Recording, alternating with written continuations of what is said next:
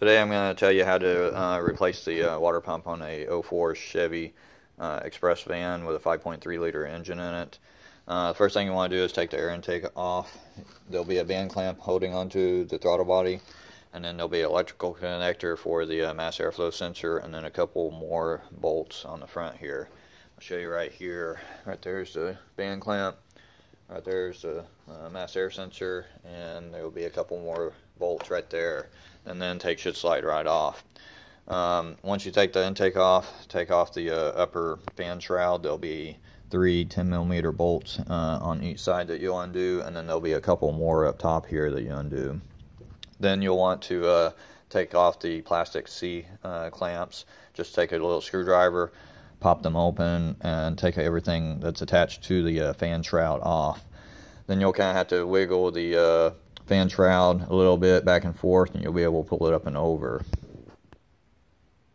Now once you pull that fan shroud out, it gives you really good access to the upper and lower coolant hoses and then the uh, other two hoses down there um, that's on the side of the water pump. Um, I wanted to kind of talk about these clamps here. Um, I know a lot of people say they're a pain to get off, but if you look at the uh, hose underneath there, you can see that it's molded it's not really made to slide back. So you basically just squeeze it and pull the, uh, the whole pipe off at the same time with the clamp. And then the lower ones here uh, the clamps will slide all the way back and you just disconnect those.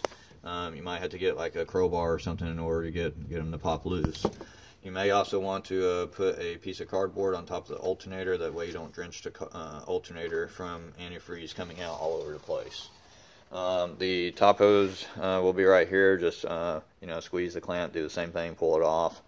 Right there's the two hoses. Um, after you do that, um, if you want to take off the fan, you can, but you could you can leave the fan on there if you want. I normally leave the fan on there until after I take it off. Um, but if you leave the fan on there, uh, then go ahead and take off the belt, and then uh, take off the uh, six uh, mounting bolts uh, that go to the block. There, there's three on this side and three on the other side. Uh, once you take those out, you'll be able to take the whole water pump assembly out. This pulley here came with it new. This pulley I had to swap from the old one. And then this is the thermostat housing right here. Now, whenever you take that off, go ahead and make sure that your mounting surfaces are clean.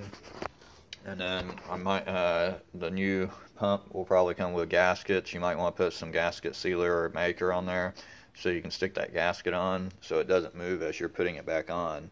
But basically, after you uh, do that, you just reverse process of everything. Um, another quick note on the uh, thermostat if all you're doing is replacing the thermostat, the only thing that you got to pull off is the uh, reservoir uh, bottle, the overflow bottle. You'll be able to reach down in the side and go down and take the uh, two 10 millimeter bolts off the, uh, the housing there. Just be patient. You'll be able to get them out and replace the thermostat. You don't have to take the belt off. Um, you will have to change uh, antifreeze though because all the antifreeze will come out. Um, but other than that, uh, you just reverse process on everything and uh, make sure everything's torqued down to the factory specs. Uh, whenever you're filling it back up, um, you got all the ho hoses uh, connected. Uh, disconnect the uh, upper hose right here. Go ahead and fill that up with antifreeze. Also disconnect this hose right here. that way, whenever you fill that up with antifreeze, you keep filling it until antifreeze comes out right here.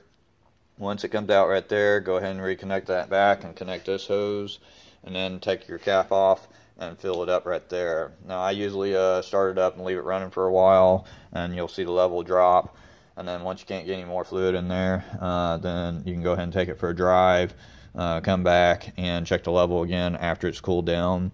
I usually do that a couple times just to make sure all the air's out of the system. But basically, that's how you change the water pump out on the uh, Chevy Express van. Um, thanks for watching my video, and if you liked it, go ahead and uh, subscribe, and I look forward to making the next video.